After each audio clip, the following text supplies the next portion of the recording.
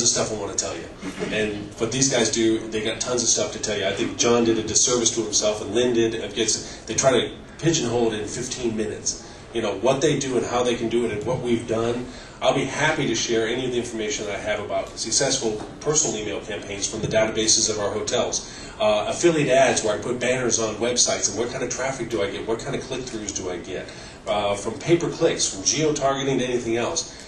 What I wanted to make sure you understood clearly for today and tomorrow, find me, grab me anywhere you want, grab any of them when they're here, and say, hey, I have a question about. Because one of the things I asked and prom- made them promise me to do was that they're a resource for the entire conference. Because I hate going to conferences where you listen about how great somebody was, but they don't tell you exactly how, and then you go back and it's like, what did I get? Ah, okay, somebody did really good, and I don't know what they did. I want to be able to tell you what we did because I do believe it's not competition. It's a healthy environment for us to get better at what we do in the travel industry. Two things. One, um, there's surveys, I guess. I just saw them. If you can fill those out, tell them how weird sounding I am and how great they are, whatever. Just make sure you fill them out because they need the feedback. Because I want to make sure that in the next sessions next year, that we make that we put the content, the questions to be answered. That little touchstone I did at the very beginning, that was from last year. I hope you, you know, from everybody that asked me to get it downloaded and stuff, I hope you did some of that stuff. But that's ongoing, okay? And what they offer today in the presentations and stuff, make sure you bring your business cards up. Two things. Uh, one, I don't know if everybody was here when we first started. I have flash drives, kind of like a little marketing one-on-one thing. And for all those who don't know about this, uh, this is a Q&A time. I need questions that we can answer now, and then whoever has the best question, I'll let them decide who gets a flash drive. And then if you want to try to win the other flash drive, throw a card up here. We'll drop before everybody leaves the room, and whoever I draw, they win the other flash drive. Okay, so questions. What do you have for us? Yes. I have a question. In your opinion, what should or how should the homepage of a hotel's website look like? I mean, you have to have your um, images, uh, flash animations, uh, advertising banners, uh, the option to book from each page, subscribe to newsletter, keywords. What else? I'll make a quick comment, and then I'll open it for everyone else to make their comments. To me, there was a time where the website had to be all things to all people, and as I showed you in that one thing, you can't address group issues when you're trying to sell tra- transient leisure. So your your main page of your website has to be as clean as possible, as simple as possible, but as helpful as possible. It gives the intuitive ability for if I do just happen to come across your index page, which is your main page, I know where to go next. That's the fundamental purpose of your index page. All these geo landing pages and everything else, those are specific pages for specific campaigns. You can get in much more depth related to whatever brought them there than you can from your index. Your index should not be everything. It should be as clean and simple and helpful. Anyway, anyone else? I was going to add, I mean, obviously prominent uh, booking functionality, and I think that should be on every page, preferably near the top left, because that's where people are looking. There's a lot of surveys that show that. Additionally, I think there should be a best rate guarantee link right underneath everywhere you got the booking, because you really want to convey to them, we've got the best rate. You don't want to go to an OTA. You want to establish more of a direct communication with that with that customer. And then I would also recommend really having something to entice that person to sign up for your own in-house email database uh, preferably just it, has to be something uh, worth value to them and, and, easy to understand. Because you could spend a lot of time and energy and money um, trying to market to people. And what we've seen is the most success that we've had uh, from just a sheer ROI standpoint even exceeding search which is surprising.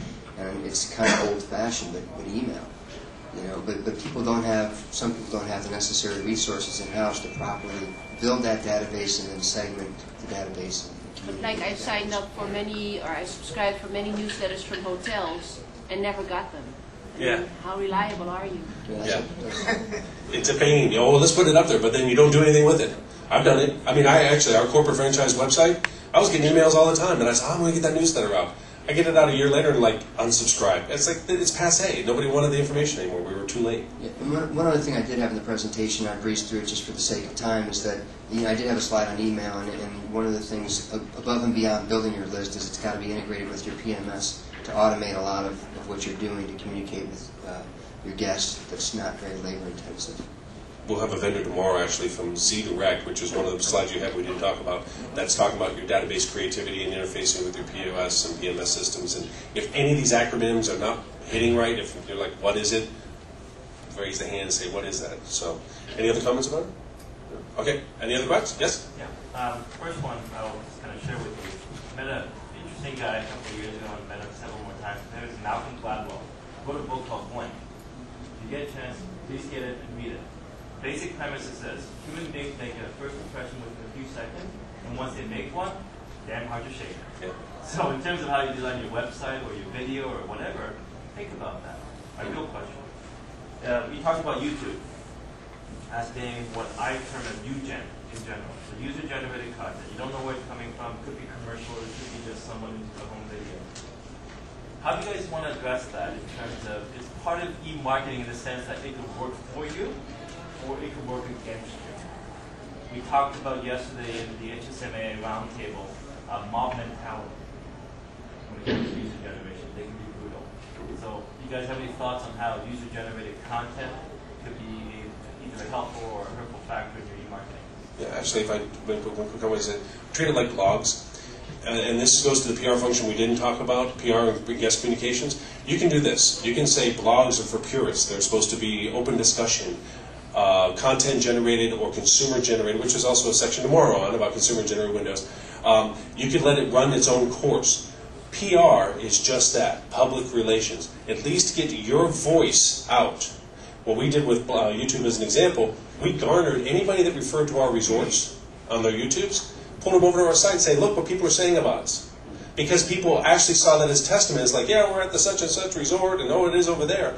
They saw it was not generated from us, so therefore there was an unbiasedness of that. That it was a terrible video. Most of them are.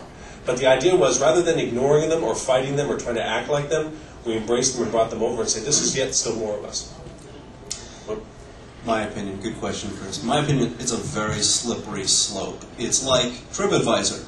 You love it, you hate it. And they give some candid reviews. Whether it's true or not is irrelevant, but people tend to believe what others have said before they'll believe a professional or the marketing uh, text from a hotel. So if I go on to a travel site that has videos and you know somebody's showing me a room that's got uh, filth and cockroaches and stuff, I'm going to believe that. Now, whether it's true or not is irrelevant. Maybe somebody's pissed off. So it's it's it's a good and a bad thing. I think it provides sort of a checks and balance, which is why I say it's a slippery slope. I think that it has its its time, if you will. Well, for that matter, if you'd have told me two years ago to invest in YouTube, I wouldn't have done it. two people, free videos, upload them, uh, see them for free. Where's the money? Uh, They didn't make ultimately, I think it's going to start happening, you know, because inevitably people are going to shoot videos of their vacations and put them online, and we have the ways to do that. So, uh, how it fleshes out and how it affects the, uh, the bottom line will will be will remain to be seen. One more comment. There's a great blogger, Andy Beal, um, Marketing Pilgrim, and he deals with reputation uh, management or monitoring, so he can monitor your brand online. And then he also has some strategies on how you might deal with something that's up there that is uh, potentially negative. So if you go to Google Blogs and type in Andy Beal, B-E-A-L. He's got some great information. Yeah, I was just going to say, I mean, you know, in general, just someone mentioned TripAdvisor. You don't want to ignore TripAdvisor. I mean, it's out there, people are looking at it, and travelers are consulting it. So just be aware of how your, your brand and your resort is positioned on it. I know they have a forum now where you can respond to negative, um, negative things people say. But what about even an idea about just having, you know, a, a laptop set up in your lobby where if someone says something positive, you can say, oh, well, listen, you can actually get, you know, uh, a free upgrade. If you just go right now, we're going to put you on um, TripAdvisor if you can just, you know, relay your experiences. So really trying to harness that at your resort is not a bad idea. And just be aware of how you are positioned so that you can respond to something that seems completely out of line to you. One other thing video has done for us as well is uh, we've did Spanish sites, we've done German sites, we've done a lot of language sites. We get better international traffic for the video content we draw to our site.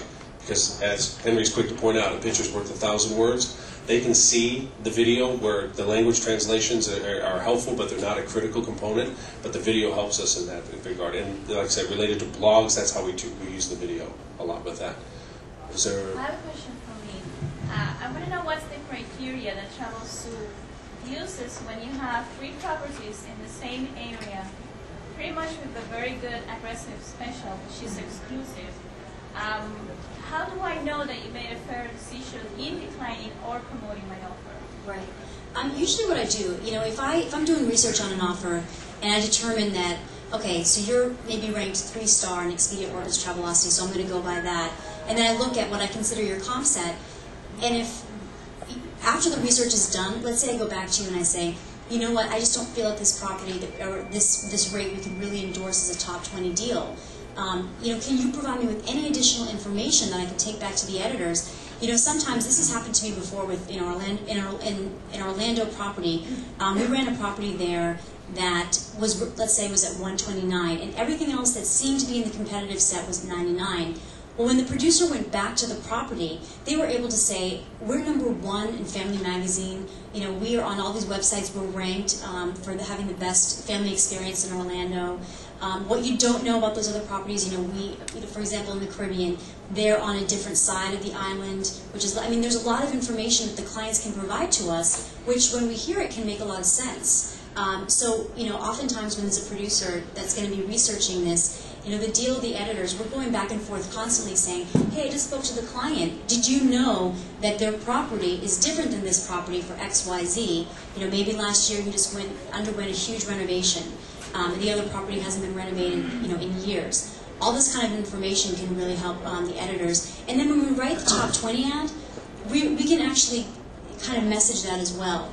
Um, this property, you know, this is a great deal for this property because, you know, usually it goes for $100 more or because they just underwent a huge renovation, whatever the case may be, so kind of telling the story. Does that make sense?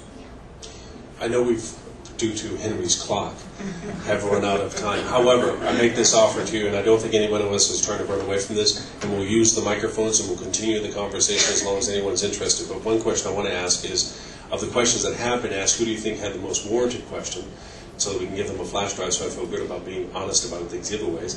The other is if you do plan on leaving the discussion from this point forward, kind of like an official, it's over, thanks for being here kind of thing, uh, bring your business card up. I do honestly and sincerely have a stack of cards here, and I'm sure all of them have theirs as well. I do reply back to any email question. I've had people ask me really strange things because they figure, you know, sometimes you just don't have resources. You know, like who do I ask that question to? I am not a vendor. I'm not out to sell anything, so I can give you an unbiased opinion of whether I've tried it or haven't tried it, and be happy to get back with you. And I think all of them will give an honest, unbiased opinion if you ask them a question as well. So it's technically officially over, but by the same token, if anyone would like to ask another question, or who did you decide on who asked the best question? Collaborate, collaborate. Oh, we have one more question? Okay, we'll put one more question in the mix and then go from there. Who, who has the question? Um, very different. I'm not. I'm not in a hotel. I'm not a destination. I'm a, soft adventure tour company, and we operate um, tour tours throughout the Caribbean. We are not. We don't have a hotel, so we don't have hotel rooms. So, for example, it, we have always found it a little difficult to market outside of our already cap, somewhat captured um, whatever. You know what I mean? Like put in an ad Right. in the New York Times, it's gonna be like You get wasted money because so far we have not been able to measure how we can capture on that, how what's what's coming out of that. Um, what would you advise? Any of you advise? Um, You're in a great spot. I mean, honestly, you're in a great spot. First off, speaking from hotels, there's trackability. Speaking from airlines, speaking from everybody you're sending business, there's trackability. How you set up your portal to drive business has your trackability on it. So you have a method from not only wherever you advertise, how you bring the traffic to you, and who you send the traffic. You can track that every step of the way. You would come to a, a hotel, set up an arrangement with them as an affiliate, whatever have you. But you have a wonderful ability because I have the restriction of message based on who I am. You have no restriction on your message. You're trying to tell me who I am and who everybody else is too. So you have a larger opportunity to drive business. You don't have to rely on one source. I mean, I'm I'm happy to show you the tracking. I'll, I'll show you where to go, how to find it, where to put it on. Any other comments? No. Actually, just a real quick question. What kind of tour packages do you put together? Just an example. um, um, like day adventures, half day adventures, Mhm. horseback riding, bareback in the ocean, the canopy tour, ATV tours. Right. Well, here's an idea, actually. I mean, relating to Travelzoo, obviously. Um, but if you partner with a resort property that is already going to run in top 20, that can be a significant value add. I mean, people that are going to these islands are, you know, what's more wonderful, romantic than a, you know, horseback riding on the beach? That can even help a property that might be in the case of top 20, where the rates are kind of consistent, you know, they might be $10 less than their competitor, but there's this great value add of this um, sort of tour or package. I mean, that's a great way to, you can actually utilize the Travelzoo audience by partnering with people that have resorts. A question real quickly from a couple of people. Uh, does everybody have an online booking component to, if they're a resort destination or what have you, whatever vehicle you say, you have an online vehicle that's not a third party, it's not the Expedia Travelocity, but is either your own or related to your property management system? Does, yeah?